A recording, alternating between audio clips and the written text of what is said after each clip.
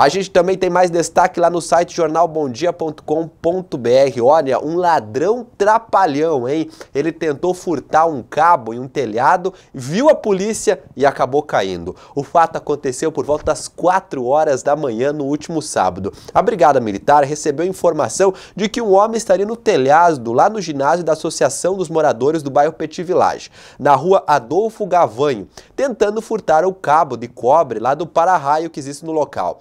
Na guarnição então deslocou para lá e quando o indivíduo viu a polícia, ele pulou do telhado de pelo menos de uma altura lá, né, caindo lá, e ele caiu, quebrou folhas de brasilite, o forro de PVC e acabou se machucando. O homem de 22 anos de idade foi conduzido pelo SAMU para o Hospital Santa Terezinha para atendimento médico. E logo após, ele foi encaminhado para a delegacia, onde foi ouvido e liberado. Olha, ele vai responder pelo crime de tentativa de furto e lá, lá no do, do ginásio, né, de tentar roubar o fio fio de cobre. Mas mais que isso, ele levou para casa também um belo dos arranhão esse aí, hein? Muito bem. Esse agora não vai querer mais roubar por um tempinho, vai ter que ficar encostado aí.